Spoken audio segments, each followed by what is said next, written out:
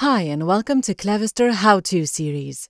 Today, we're going to take a look at how to configure and use the Acme feature. The first thing we need to do is to go to System, Remote Management, Advanced Settings, and change the Web UI HTTP port from 80 to something else. In this case, we will use 81. We cannot use port 80 for the Web UI because that will interfere with Acme, that is also expecting challenges on port 80. Then we go to Network, Network Services, Acme Accounts, Add Acme Account. And now just enter a name. Then we need to choose what server we want to use. Let's Encrypt, Buypass, or we can also choose our own server. Let's continue with Let's Encrypt. After that, we need to set up the account key type. The account key can be one of two types, elliptic curve or RSA.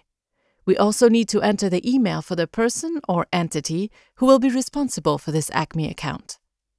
Some of the servers we use will require us to read and accept their terms of service. We should, of course, read the terms of service and accept if we agree with them, but we can just bypass all that by just saying that we automatically accept any terms of service that are sent to us. Then, we need to set up what type of challenge we are going to be using. In this scenario, we have two possible challenge settings. One is to use a built-in rule, which is the simplified way. And the other one is to use a reverse proxy policy that we will need to configure manually. The last setting we need to configure is the certificate renewal time range. This is the time when the system will perform any needed updates or download new certificates automatically. In the Certificate Management tab, we need to set up a certificate. We click on Add, Acme Certificate Management. Let's give it a name. And we're now going to register it for a domain. We can also add another host name or an alias. When there are several domains for the same host, we can then register multi-domain certificates.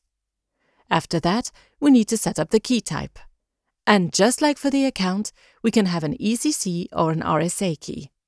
Fill in all the certificate details, And finally, enter the email of the person or entity that will be responsible for this specific certificate.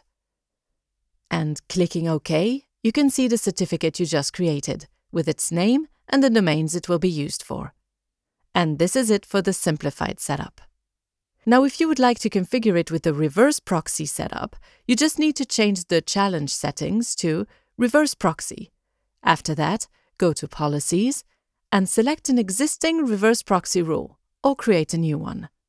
Then just set Intercept Acme Challenge to On.